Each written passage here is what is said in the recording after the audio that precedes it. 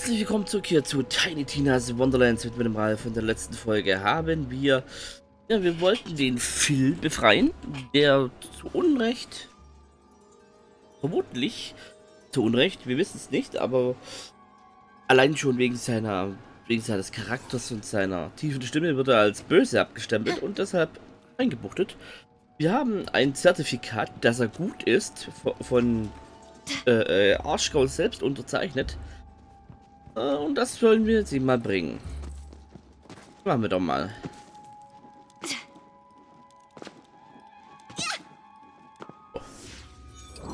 Haben wir das hier fertig? Das hier fehlt noch hier vorne. Oh, das fehlt noch. Werden wir über hier, hier rein, hier alles machen, hier vielleicht noch und dann hier, dann hier. Oh je. Da ist doch viel. Ja. Gehen wir mal weiter. Beim heiligen Schlabautermann, da bist du ja wieder. Hallo. Oho, diese anderen Taugenichtse haben euch also nicht umgebracht. Ich hätte ein Ah. Wort darauf verwettet. Die bringen niemanden mehr um. Sie sind nämlich tot, weil ich sie getötet habe. Schön, schön. Piraten zu töten ist ganz schön piratenhaft. Dann kann ich dich ja reinlassen. Aber ich rate dir, diesen Schielauge-Phil nicht zu verteidigen.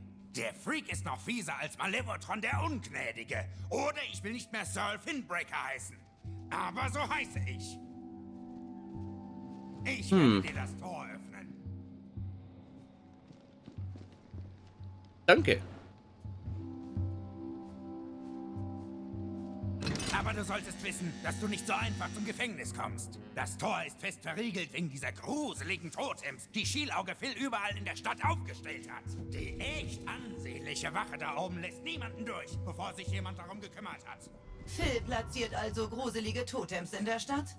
Das könnte schlecht für unseren Fall sein. Dann lass uns die Beweise zerstören. Ganz einfach. Da sind wir einmal der gleichen Meinung. Zerstören wir Beweise. Hm. Klingt nicht gut für Phil. Aber. Da ist so ein toter Geistergeist, der Hilfe braucht, um sich an seinem Riesenarsch von Boss zu rächen, der zufälligerweise total böse ist.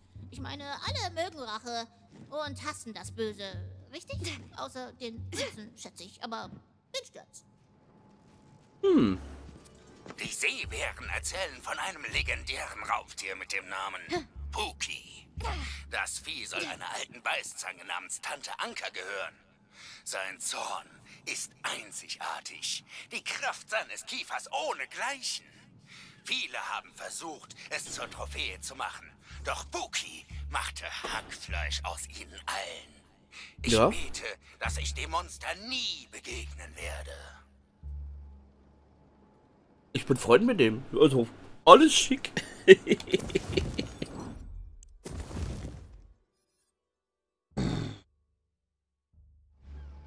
Esterhafter Geist.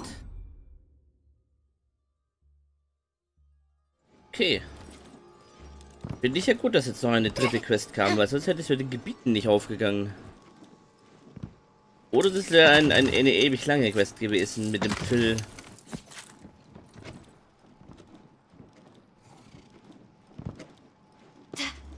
Tag. Oh, Wow, wo kam das Ding denn her? Ich habe da eine Theorie. Magst du sie den anderen auch verraten, Fred? Nein, Sehr hilfreich, danke. ja, So aber ich mach das Gegner gerne. fertig. Die Totems schrecken diese Viecher ab. Und er hat es eigentlich nur gut gemeint und wollte die damit vertreiben. Der Zufallsgenerator kann dir nichts anhaben.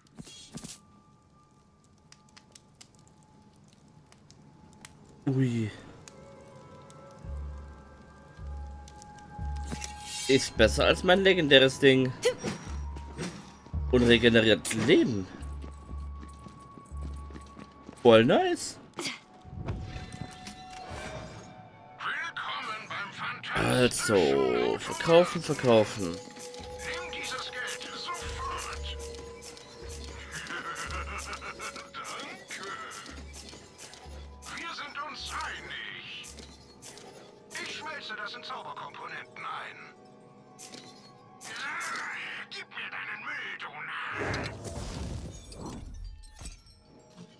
Mach ich doch gerne. Hm. Hm. Hm. Noch eine Mission. Ahoi, Herzchen! Komm Und? her! Ich muss zugeben, ich brauche deine Hilfe. Will jemand etwas Spaß haben?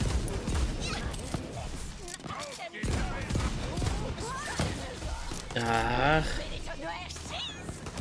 Braucht ein Minzbonbon?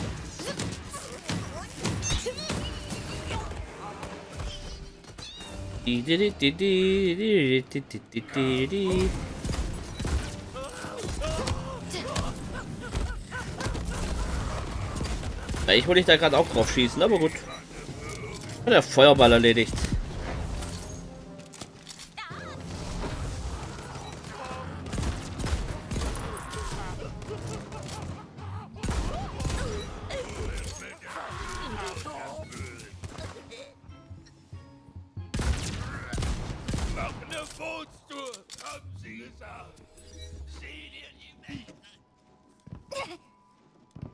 Hast ja gesehen, nicht? Reicht ja doch. So. Welche Quest führt mich jetzt wohin? Bis dahin.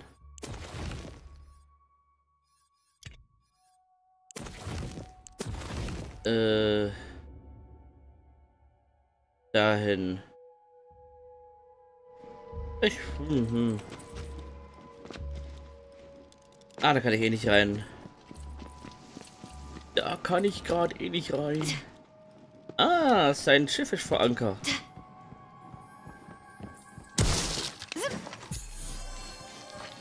Oh, der Glücksfaktor steigt. Ja, ich glaube ja nicht. Ich hab doch noch nichts davon gemerkt, dass der steigt. Oh. Das ist aber die große Kanone. Eine sehr große Kanone.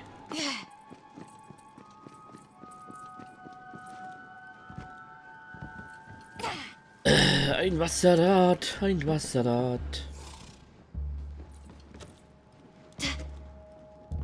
Guten Tag.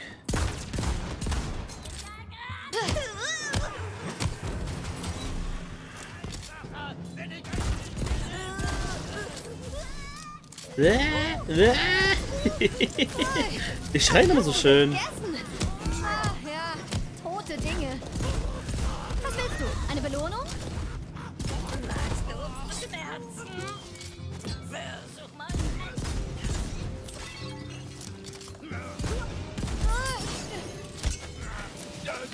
Ist eine Serie aus.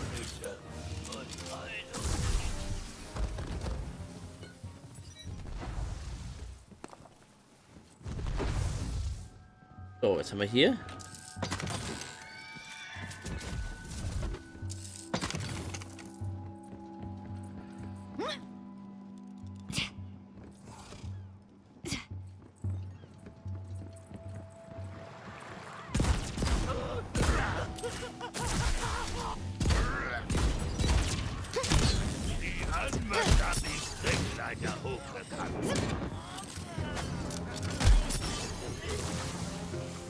Keine Mund mehr, gell?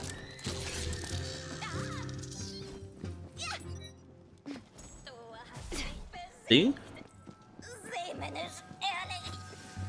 Da habe ich einen Pling gehört.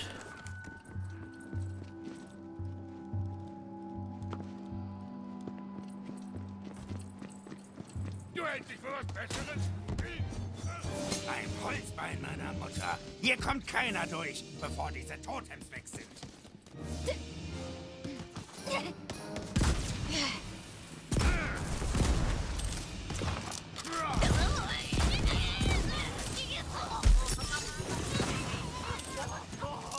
Die, die, die, die.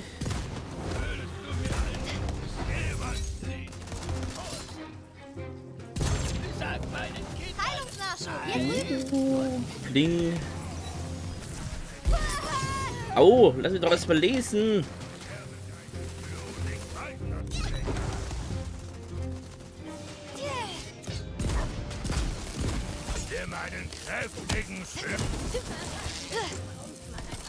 Ein kräftiger Schluck, ja, da.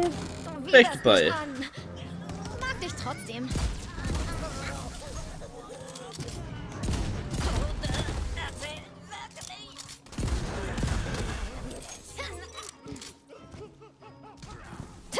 Ich habe ihm gezeigt, wie man das macht. Dudut. Hm.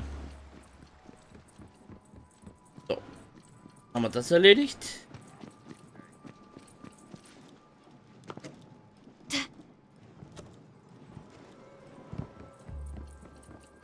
Da wo ist Bones? Du kommst gerade recht, mein lieber Lechance. Wind im Segel meines Herzens wurde gefangen genommen. What? Es war dieser diebische Piratenlord, der braungebrannte Gilbert. Ich will ihn mit einem röstlichen Entermesser bearbeiten, doch leider trägt er den besten Schutz. Lechances Anschlagrüstung. Nachdem sich Gilbert letzte Nacht mit Süßholzraspeln seinen Weg auf unser Boot erschlichen hatte, stahl er Lechance und verschwand. Muss diese Seezauberei benutzt haben, die hier auf der Insel so beliebt ist. Sprich mit der hiesigen Hexendoktorin. Wir müssen Feuer mit Feuer bekämpfen. Das ist doch fies, ist es. Anschlagrüstung ist kostbare Beute. Wenn man sie trägt, ist man unsterblich. Das sagt zumindest die Legende. Irgendwie hat Gilbert Lechance die Rüstung vom Leib gerissen. Es sei denn, er... Nein, er muss magische Teufelei benutzt haben. Die Hexendoktorin ist eine alte Freundin. Ihre Magie hat mir bei mancher sauren Seegurke geholfen. Die sind wie normale Seegurken, nur saurer. Mhm. Klingt logisch. So. Ah, Ich suche Ja. die Hexendoktorin. Bist du das? sie schläft. Verdammte Seehexen. Das ist sie. Aber sie schläft. Oder ist in Trance. Oder einer Schlaftrance. Finde einen Weg, sie aus ihrem Hexenschlaf zu wecken. Aufwachen, Schlafmütze. Ich werd verrückt. Diese Trance ist tiefer als ein versunkener Semiotiker. Aber keine Sorge. Es gibt da eine Kanone, die du steuern kannst. Setz einen Kurs. Willkommen bei Kanonen für Kenner. Wir haben alles für Ihre Kanonenbedürfnisse. Kanonen für Kenner. Wenn es Kenner... Nein, ja. Willst du es auch mal versuchen? Klar. Oh, wie entzückend. Findest du nicht auch? Bumm. Ja, klar. Ähm, äh, gibt es das auch in, äh, du weißt schon, großen Größen? Ich brauche etwas Lautes. Hey, ihr elenden Okay. Die Gebärter? Krieg ich die Gebärter? Zieh runter und verpasst ihr etwas, das den richtigen Wumms hat. Zeigen wir allen, was der Clan vom fernen Berg drauf hat. Bereit machen.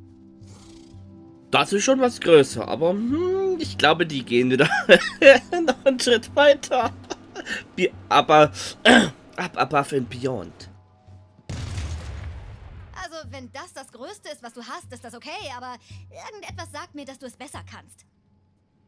Aber die Drachenkanone ist verboten, seit sie im letzten Zeitalter die Drachen des fernen Berges geweckt hat. Oh, ist das alles? Dann mal los. Nun gut, Drachenkanone. Drachenkanone bereit machen! In Ordnung, ihr Hunde!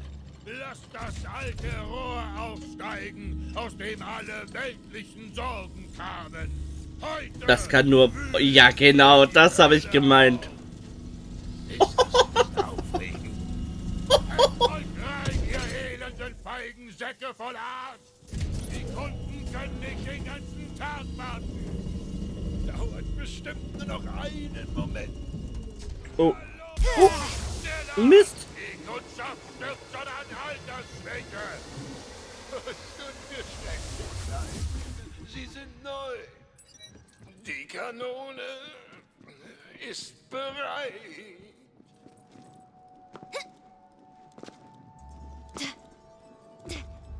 Bin gleich da.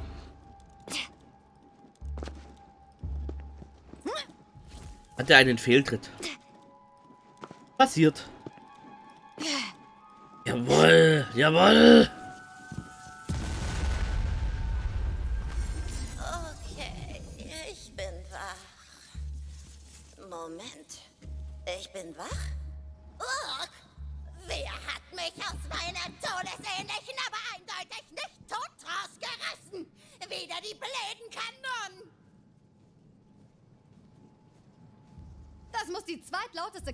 Sein, die ich je gehört habe. Nur zweit? Was ist denn jetzt so verdammt wichtig, um mir den Schlaf zu rauben? Sag mir, wie ich eine Anschlagrüstung zerstören kann. Der Grund geht dich nichts an. Ich versuche nämlich, einen Typen zu töten, der eine trägt. Verdammt. Sei es drum. Kannst du helfen? Eine Anschlagrüstung zerstören? Unmöglich. Es sei denn, es gibt hier noch mehr Hexendoktorinnen wie mich. Ich kann sie zwar nicht per se zerstören, aber der Fluch des wahren Charakters könnte aus einem Schalenfeigling eine kleinere Kreatur machen. Dann würde die Rüstung einfach abfallen. Andererseits könnte er daraus ein bösartiges Riesenmonster machen, je nach Charakter. Eins von beidem. Ich stimme für Letzteres, weil da habe ich einen Boss. Riesige Bestiefluch. Ich sag dir was. Triff mich in den hungrigen Höhlen und wir stellen den Fluch gemeinsam her. Ja, geil. Gemeinsam.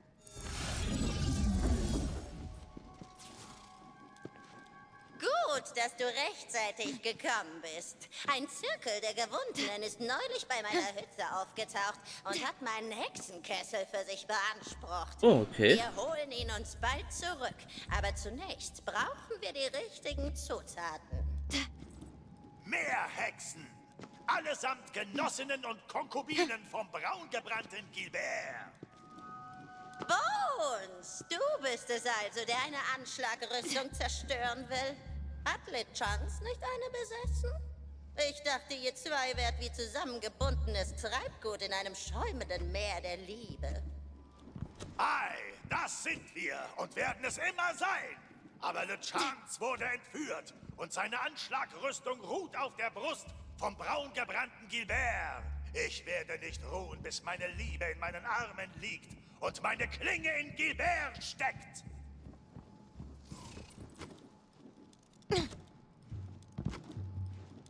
Kann es einfach sein, dass der fremdgegangen ist? Jetzt sammeln wir die Materialien für den Fluch in diesem Fluchbehältnis. Oh. Jetzt müssen wir Fluchessenz von ein paar armen, verfluchten Seelen sammeln. Geht zum Grab der abgenackten Piraten. Die haben den Fehler begangen, eine Nacht in diesen verfluchten Höhlen zu verbringen, wo sie von verfluchten Krabben gerissen wurden. Jetzt leiden sie unter dem gleichen Fluch und nehmen ihre wahre Krabbenform ein, wenn sie müde werden. Beschwöre sie mit dem Behältnis und wenn sie sich in Krabben verwandeln, erlöse sie von ihrem Elend. Wir werden ihre salzige Essenz für den Fluch verwenden. Ich habe der Hexendoktorin nicht immer vertraut, Mhm. aber sie hat mir immer aus der Patsche geholfen. Sobald sie ihren Kessel hat, Doch kann da sie oben. bestimmt etwas für unsere missliche Lage zusammenbrauen. habe seine Werte aufgenommen. Auf der Mehr Kompost für den Haufen.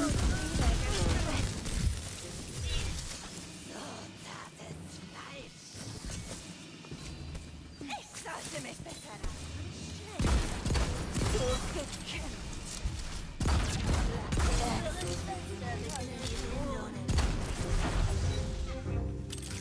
So, alle tot.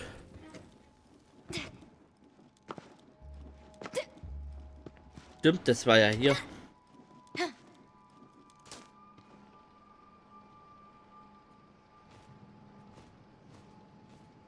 Na, oh, da musste ich kurz lesen. Platziere das Fluchbehältnis und beobachte, wie es seine Magie entfaltet.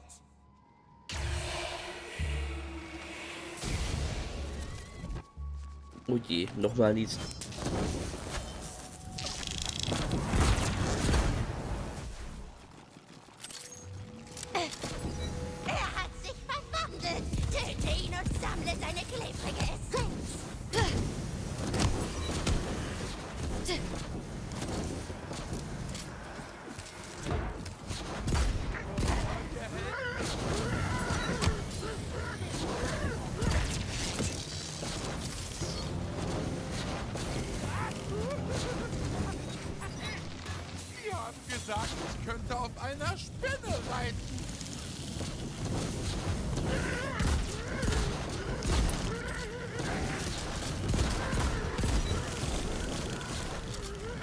Zwei.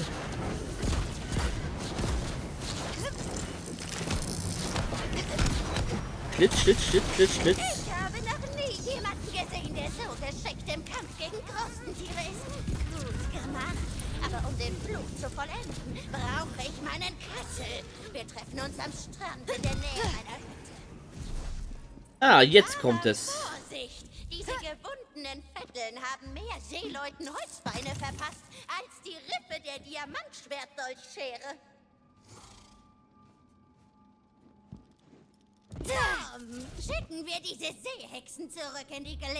See, aus der sie kamen. Hol meinen Kessel und bereite den Fluch vor. Ja gut. Ach, kaputt. Ich wollte meine Fangzähne eh dann. Was? Wer ist das? Gewundene Freunde.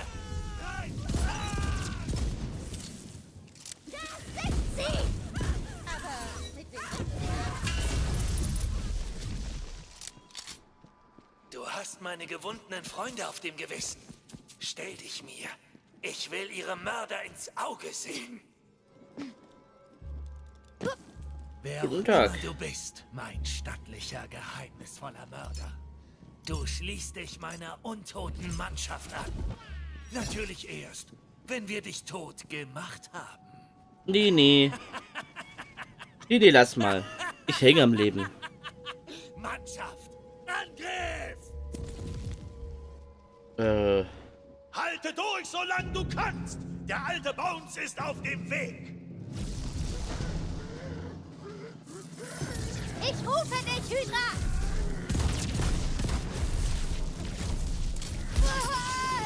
äh?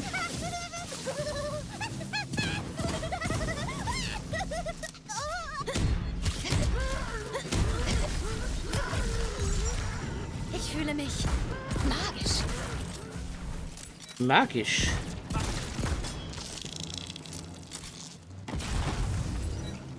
Du bist ein kleiner Killer, nicht wahr? Feuert eine Breitseite und feuert mehr Breitseiten, Ich würde an deiner Stelle nicht weitergehen. Aber hey, wart ab, was passiert.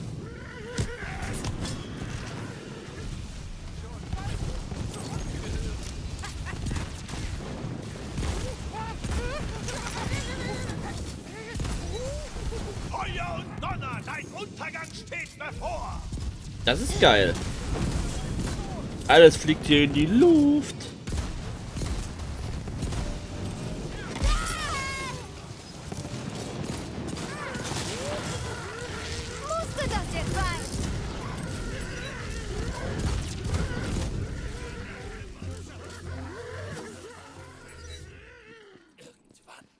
Dieser verräterische Jakobsmuschel flieht. Er stippt zurück in seine Höhle. Ich komm dich holen, Gilbert. Sag LeChance, dass ich euch beide hole. Diese verdammten Seehexen haben mein Zuhause verwüstet. Oh, Bones, gut, dass du aufgetaucht bist. Es ist zu viel Zeit seit unserem letzten Abenteuer vergangen. Praktizierst du noch immer dunkle Meermagie? Würdest du mich sonst um Hilfe bitten? Du, wirf nun die Fluchessenz in den Kessel. Ah, ist wirklich schrecklich nett von dir. Tausendmal Dank. Gut gemacht, Hexendoktorin. Du auch, Herzchen. Wie du auch heißen und was du auch tun magst. Los, zur Höhle vom braungebrannten Gilbert, um LeChance zu retten. Wir sollten uns beeilen. Ist ein langer Marsch vor einer längeren Schwimmstrecke. Du kannst doch schwimmen? Bones, du beleidigst mich. Lass mich ein Portal für dich öffnen. Oh. Du erstaunst mich immer wieder. Na los! Du bist schon seit vielen Monaten mit LeChance zusammen, Bones. Warum hast du ihn nicht zu deinem Lebensgefährten? Oh. Ah. Ja, dieses Gebiet hatte ich mir schon gedacht, dass da irgendwas passiert. Gute Frage, Hexendoktorin. Wenn der braungebrannte Gilbert erst auf dem Meeresboden liegt und LeChance frei ist, mach ich das vielleicht.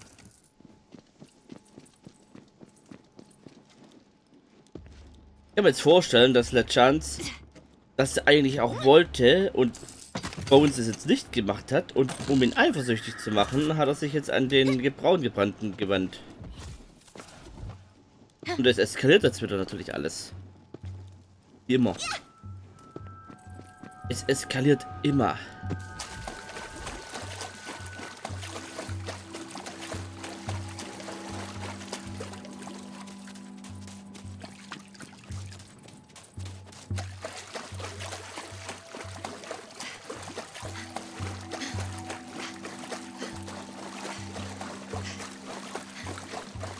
Nichts. Sieht aber wie die größere Boss-Arena aus.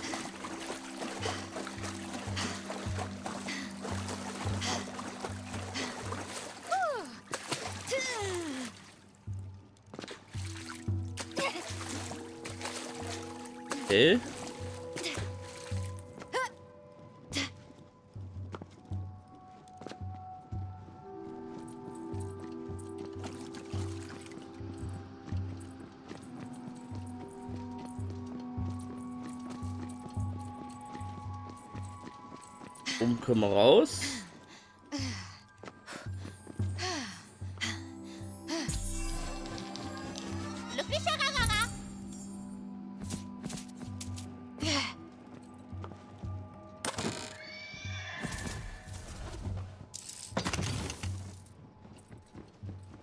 Sehr nice. Versuch jetzt zu verhandeln. Es muss kein Blut mehr vergossen werden. Außer es ist das Blut vom braungebrannten Gilbert. Der braun gebrannte. In der Nähe flattert eine Gedichtseite im Wind. Kennt ihr die Piratendirne? Mit nem Schiff süßer als jede Birne? Wo das Gedicht herkam, gibt es noch mehr davon. Redet einfach mit dem Poeten in der Taverne von Prachthof. Nee, nee, lass mal. So, damit sind wir hier auch durch. Parley! Verzeihung, Parley! Zu einem Parley! Nur ein kurzes Parley mit dem Kapitän, wenn das in Ordnung ist. Oh. Ein bisschen Dutzwerk. Parley, hast du einen Termin? Parley? Nein, den habe ich nicht. Das ist doch kein Problem, oder? Äh, Parley, äh, darf ich fragen, worum es bei dem geplanten Gespräch mit Kapitän Gilbert geht? Parley! Er muss LeChance aushändigen oder ihm wird etwas Schreckliches und Gewalttätiges passieren. Parley, das klingt wie eine Drohung. Ich dachte, wir würden verhandeln. Vielleicht solltest du ein paar Manieren lernen. Auf keinen Fall lassen wir dich mit dieser barbarischen Einstellung rein. Verdammt sei der alte und subtile Kodex des Palais. Das Piratenrecht schützt diese Landratten. Ihr könnt sie nicht einfach niedermähen. Ich erinnere mich, dass wir eine Menge Zeit und Mühe damit verbracht haben, Fluchsaft zu sammeln. Würde das hier funktionieren? Genial! Das könnte funktionieren.